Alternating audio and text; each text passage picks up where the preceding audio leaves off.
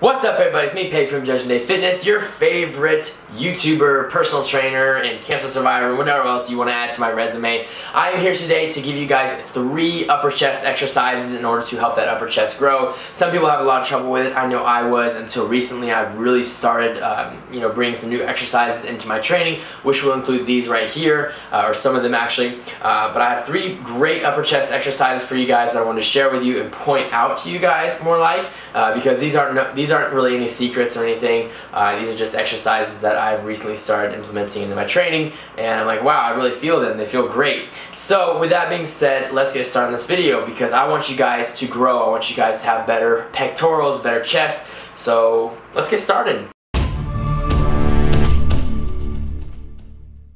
So before I get into these three exercises, I just have to do a quick little plug, and that is that I do customized workout programs, $25 each, customized to your goals, schedule, anything else that might be involved in it, injuries, um, you know, favorite exercises that you like to do, powerlifting, all that. I customize it. It's $25 per program.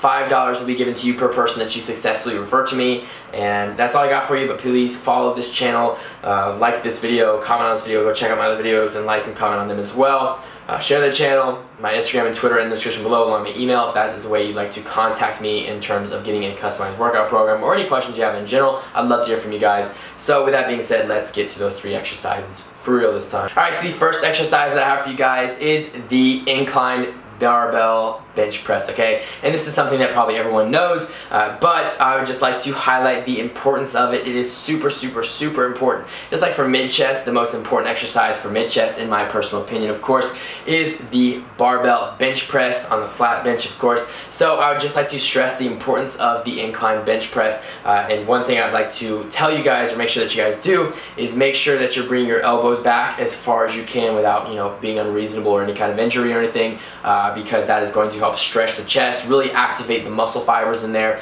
So make sure you're doing that. I actually did this one last today as a great little finisher. Uh, so that's just something to keep in mind. Maybe you guys can switch it up sometimes. Maybe sometimes it's the first exercise you do for your upper chest. Maybe sometimes it's the last exercise you do for upper chest.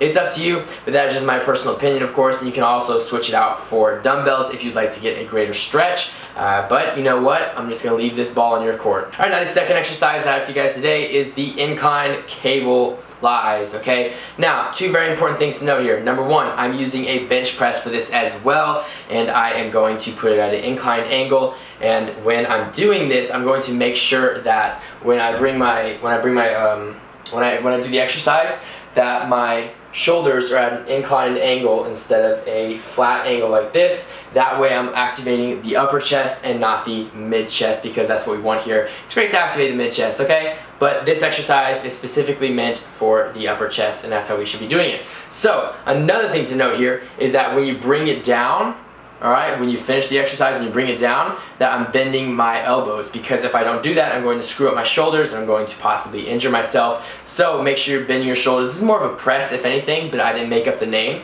So just make sure that you're doing that. Um, now, when you get to the top as well, I want you to try and squeeze your chest together and try and activate activate your upper chest. It's really good for activation. And when you bring it back down, make sure you're stretching out your chest as well. That's also great for activation. All right, now my third and final exercise for you guys. This is a mouthful, but is the incline bench press with dumbbells, with a hammer grip, and a narrow grip as well. Press, all right? So uh, what you're gonna do with this one is you're gonna bring the bar, the dumbbells together. I almost said barbells. You're gonna bring the dumbbells together, and you're going to squeeze your chest together as throughout the exercise. Okay? So you're gonna bring it down, bring it up, squeeze your chest together. That's how you're gonna get a lot more activation out of that exercise because that is just what you want. Okay, the more activation you get, the more you're going to get out of the exercise, all right? So another thing to note here is when I'm bringing it down, I'm bringing it to the base of my chest, okay? Uh, that's where I let the, dumb, the, the top of the dumbbell is resting at the base of my chest. Now, you might be built a little differently and it might work better for you, but for me personally, that's what works best for me. So you can try another way if you'd like to, and if you feel it better that way, then I'm all for it. I want you guys to be successful in this exercise. So if that's what it takes, then do it, but that's just what works best for me.